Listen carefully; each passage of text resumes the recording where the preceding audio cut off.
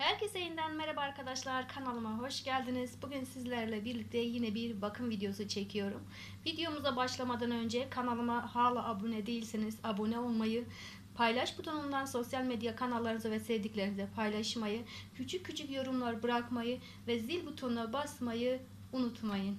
Öncelikle bugünkü videomuzun konusu saç yağlanması. Bildiğiniz gibi saç yağlanması e, vücudun ve veya saç derisinin yağ dengesinin bozulmasından kaynaklanıyor. E, bunun birçok sebebi vardır. Beslenme, stres, e, daha sonra saç derisindeki döngünün bozulması buna e, işarettir.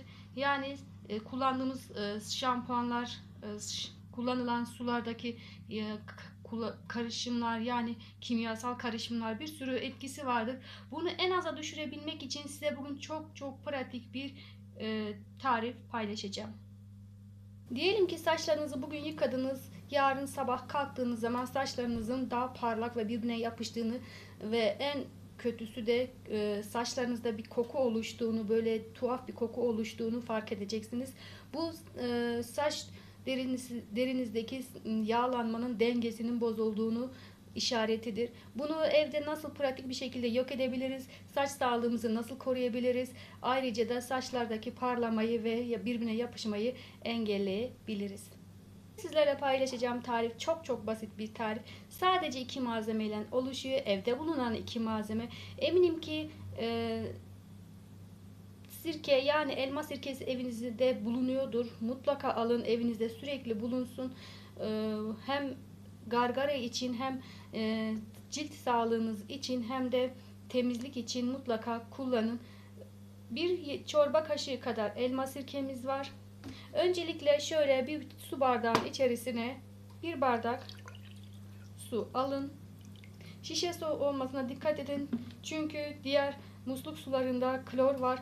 Ee, yani kimyasallar var. Bunu e, en aza indirebilmek için şişe su kullanın. Bir bardak kadar ılık ya da soğuk su, e, su kullanın. Ardından Limon kullanacağız. Limon bildiğiniz gibi hem ciltte hem de saç derisinde inanılmaz faydalı. Hem C vitamini kaynaklıdır hem de e, içerisindeki asit, asitler sayesinde yağ dengesini de düzenleyecektir. Hoş bir koku verecektir. Saçlardaki düzensiz yağlanmayı da geciktirecektir, azaltacaktır. Bir çorba kaşığı kadar limon suyunuzu sıkın. Taze kesilmiş olması önemli.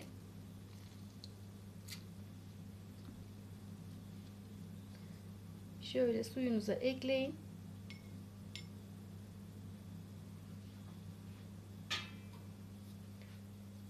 Ardından bir yemek kaşığı kadar da elma sirkesi. Elma sirkesi evde yaptığınız, kendi evinizde yaptığınız doğal olması da çok çok önemli. Benim evimde kalmamıştı.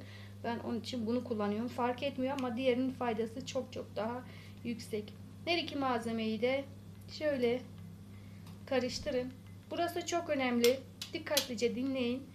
Suyun yarısını banyo yapmadan önce saç ve saçlarınıza ve saç diplerinize uygulayın. Şöyle bir ıslak ıslatın saçlarınızı komple.